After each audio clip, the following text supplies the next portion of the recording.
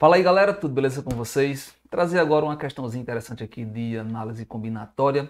Eu vou pedir aquela sua curtida no vídeo, tá? Se estiver chegando agora, se inscreva no canal e indica aí para seus amigos que querem também aprender análise combinatória. Lembrando, isso aqui não é uma aula para iniciantes, aqui é uma aula para quem já tem uma ideia de análise combinatória, tá? Se você está iniciando no, no, no estudo de análise combinatória, vou deixar aqui na descrição um curso que eu tenho completo, do zero mesmo, sobre análise combinatória, tá bom? Mas aqui é para quem já tem uma ideia. Deixou aquela curtida, se inscreveu? Vamos lá. Saca só, diz assim, ó. Quantos são os anagramas da palavra mestrado em que as consoantes ficam entre si em ordem alfabética? E aí? Deu uma complicadazinha, né? Se eu quiser simplesmente quais são os anagramas da palavra mestrado, eu perceberia que mestrado aqui tem oito letras, né? Ó. Portanto, bastaria fazer 8 fatorial, né? 40.320. Mas não é isso que eu quero. Eu quero que as consoantes fiquem entre si em ordem alfabética. E as vogais? Não, as vogais podem ficar à vontade. As consoantes é que precisam estar sempre em ordem alfabética. Por exemplo, se eu monto um anagrama, é, é, o, o S não pode vir antes do M, porque em ordem alfabética o M vem primeiro. Tudo bem? Então, nesse tipo de, de, de, problema aqui, pessoal, eu sempre aconselho fazer os tracinhos aqui, ó, para a gente dividir as nossas decisões a serem tomadas, tá? A gente pensar melhor aqui, ó. Como são oito decisões, né, eu tenho que escolher oito letras, vou fazer oito tracinhos, tá? O que você precisa compreender aqui é que o que importa aqui, pessoal, é quais são as posições que eu vou escolher para colocar as consoantes. Porque uma vez que eu escolha essas posições, essas consoantes já ficam definidas. Por exemplo, olha só.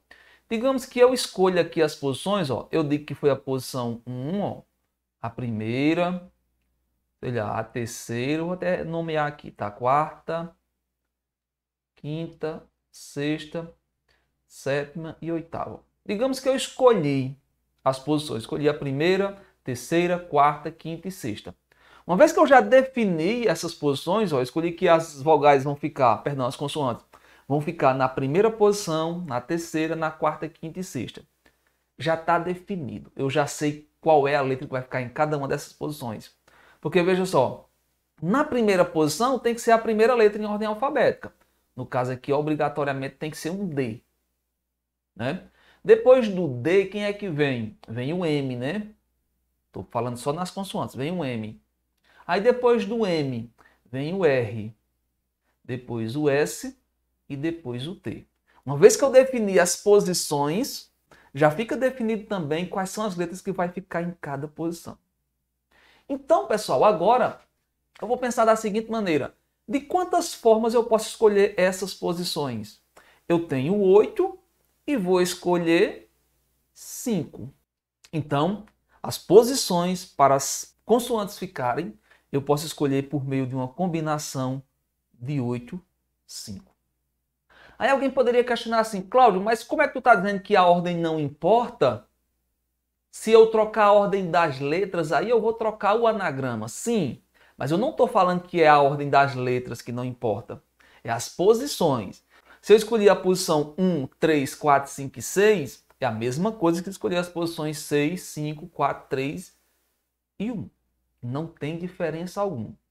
Tudo bem? Então, as posições que eu vou escolher não importa a ordem. Uma vez que eu escolhi a posição, as letras já ficam determinadas. Então, as consoantes podem ser, podem ser escolhidas através de uma combinação de 8, escolhe 5.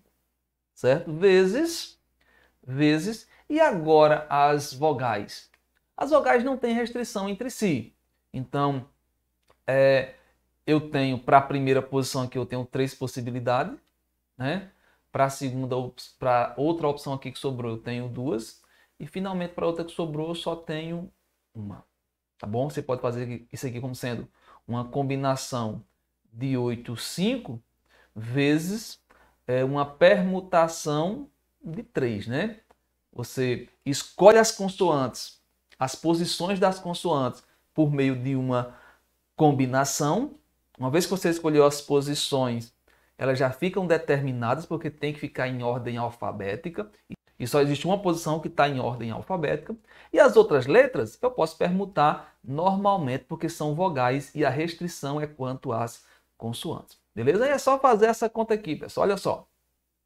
Combinação de 8, 5 é 8 fatorial dividido por 5 fatorial, 3 fatorial, vezes permutação de 3 é 3 fatorial, né?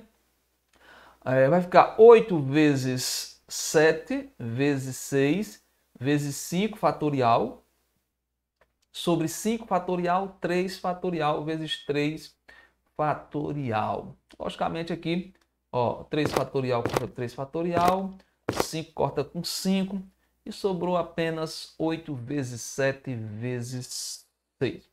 8 vezes 7 aqui dá 56, 56 vezes 6, né? 6 vezes 6, 36, 6 vezes 5, 30, 33. Então dá 336 anagramas da palavra mestrado, onde as consoantes estão em ordem alfabética entre si.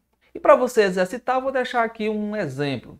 Nesta mesma questão, digamos que eu quisesse também as vogais em ordem alfabética. Quantas seriam, quantos seriam os anagramas? Deixa aqui no comentário, tá bom? Tchau, tchau. Até a próxima.